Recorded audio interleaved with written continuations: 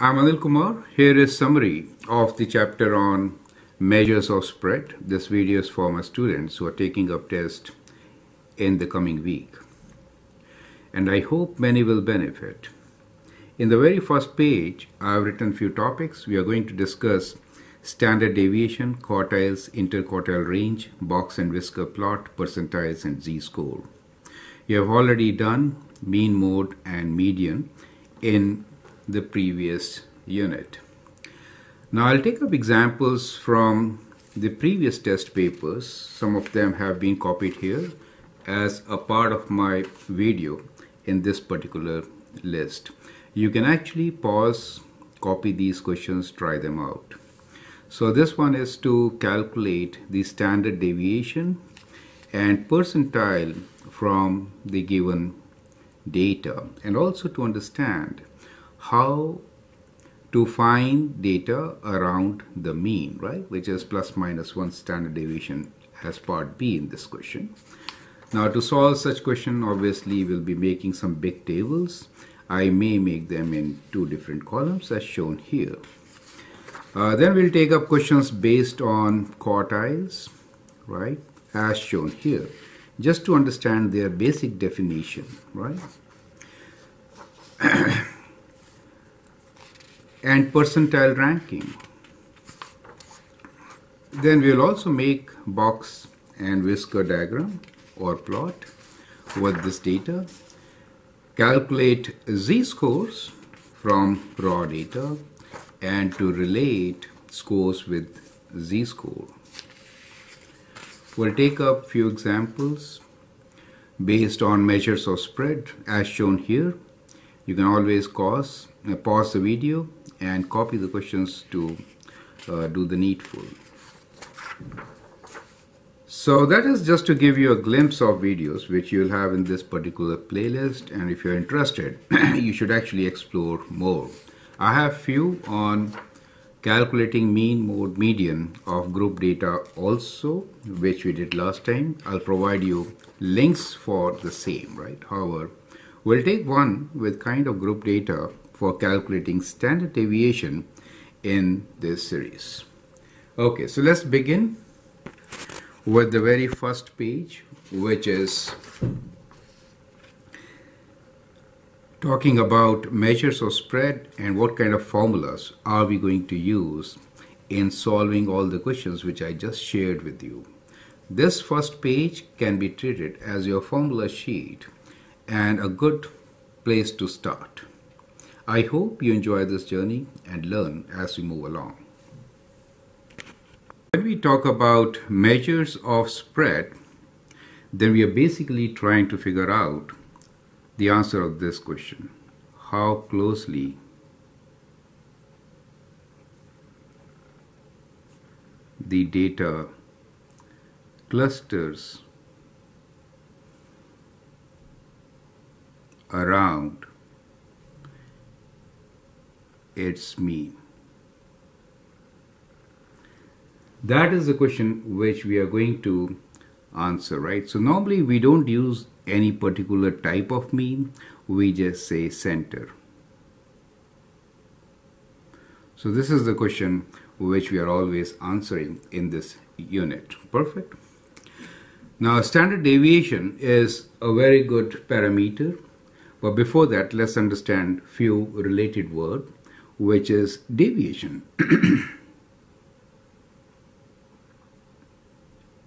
so when so when we say deviation, that means basically we are talking about each element. So elements in the data will be represented by the value x. We will say how, what is the difference between data element and the center, right? Or the mean value and the mean value.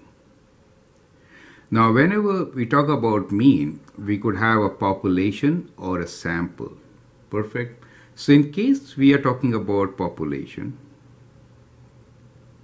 that means we are taking each and every element into consideration, right? In that case, the deviation will be x minus mu. We use mu for the average or the mean of a population. In case we are talking about a sample, then we say x minus s as the deviation, right? So that is one formula which you should remember, which is deviation. Now let's talk about standard deviation, right? So standard deviation I'll be writing as SD. Now similarly, based on these two, the standard deviation is also having formulas for population and sample. Standard deviation sigma is equals to square root of sum of squares of deviations, right? That is to say x minus mu whole square over total number of elements in the population square root. If we are talking about the sample, in that case, I'm sorry, this should be x bar. In, if we are talking about the sample, then the standard deviation will be square root of x minus the deviation, right? Whole square over n minus 1 square root. So in sample you take very few elements so there is possibility of error. To reduce that error we actually do n minus 1. The total number of elements in the sample take away 1. Perfect. If there are let's say 10 you will divide by 9. 10 minus 1. Right. So those are two formulas. We also use the word variance, right? So for variance also, which is equals to square of standard deviation. Let me write down here uh, standard deviation square. So we don't have these square roots for variance. Perfect. So that is variance will be for population, variance will be sigma square and here it will be s square. Correct? So I hope these formulas are absolutely clear as far as standard deviation goes, right? Now remember this thing that standard deviation will provide you how closely the data is to the mean, clustered around the mean. That's what it is. Perfect. A large standard deviation means it is dispersed widely. A smaller standard deviation means it is compact, correct? So that's what it is. Normally, uh, within plus minus one standard deviation, you will get 65% data. That is normal. Just to give you an idea, right? Normally. Now let's talk about quartiles and interquartiles. So we're done with standard deviation. That much is enough for you. Now quartiles and interquartiles. Now when we talk about median, that is the center value, right? When we talk about quartiles, then think like this. Uh, let me just make one here so that it serves the whole purpose. So that's the whisker, right? So this is the box. So we call this as a box and whisker plot. So what you see here is that somewhere in this box will have the median median in terms of quartiles is represented by Q2. So let me write this as Q2 here. Q2. So Q2 is median for us. Middle value. Perfect. So the whole data is arranged in increasing order divided into four equal parts, right? So that you have exactly same number of elements in each quarter in each quarter. Perfect. So, and to make this box, as we have seen, that most data lies within this box. So we say let this be the first quarter. First quarter means starting from here to there. So these are actually limits of your quarters. Do you understand? So limits of the quarters mean that uh, the first point here also is included and that is your lowest datum. Similarly, that will be your highest datum. right? So the highest value in your data set will correspond to that end of the whisker, correct? Then, after arranging, you have to divide it into four equal parts. If there are total, let us say, uh, let me take population. Let's say there are n elements, right, in your data. Then you have to find position by dividing n plus 1 by 4. so that means 1 quarter. So if you do that, what you get is the position for Q1, the first quarter, Q1.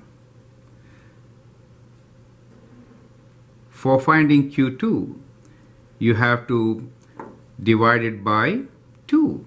So we get the center value. Is that okay? n plus 1 divided by 2. And to get the position for the third quarter, let me write down here Q3. For the third quarter, is end of the third quarter, you have to divide it by 4 multiplied by 3. So n plus 1 divided by 4 times 3, 3 fourth. So what we have done here to find the position, so these are not the value, these are the positions in order, right? These are positions. So we get these points, correct? Now Q1 minus Q3, the whole thing here is called interquartile range. So interquartile range is Q3 minus Q1. So let me write down this formula also for you. Interquartile range is Q3 minus Q1. Now some data you may have elements which are far away, right? we call them outliers. Let's say we have a point here, right? Some point here. So these are called outliers. Now you could have more than one, okay, no problems. How to figure out whether something is outlier or not? Easy calculation is that outliers will be beyond this range. So let me give you the range. On the right side, it will be now let's talk about outliers.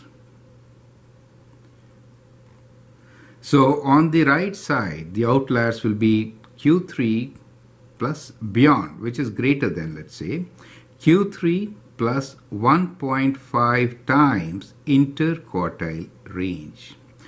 Perfect. And outliers on the left side, on the left side also we could have, right? They will be lesser than Q1. So they will be less than Q1 takeaway 1.5 times interquartile range. So those elements will be outliers. And if you do not consider the outliers, make a diagram like this, it becomes a modified box and whisker plot. So this will be modified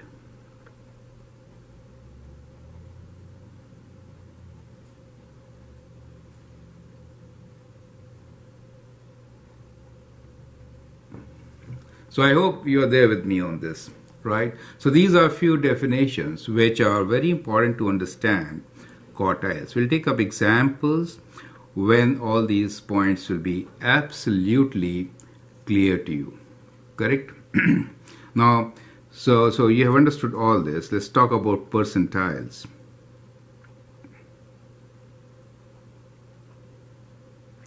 In percentiles, we divide the data into 100 parts.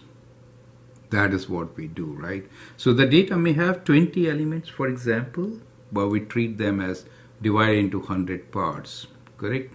So divide data into 100 intervals, you can say, that have equal number of values, correct? So if I say k percentile, if I say k percentile, it means what? So when I say k percentile, that means that the kth element, kth element is what we are talking about. So number of elements before that are k percentile and number of elements above are 100 minus k percent, right? So we say, look at the kth element And if you see below, then it means that it has k elements below k percentile. Do you understand? So it means that the k percentile of a data are less than or equal to kth percentile. Correct? So if I say 90 percentile, right, that means uh, 90% uh, of the data is below that. For example, let me take an example actually. Let's take numbers 1, 2, 3, 4, 5, 6, 7, 8, 9, right? So we have 1, 2, 3, 4, 5, 6, 7, 8, 9 and just to make simple calculation we'll include 10.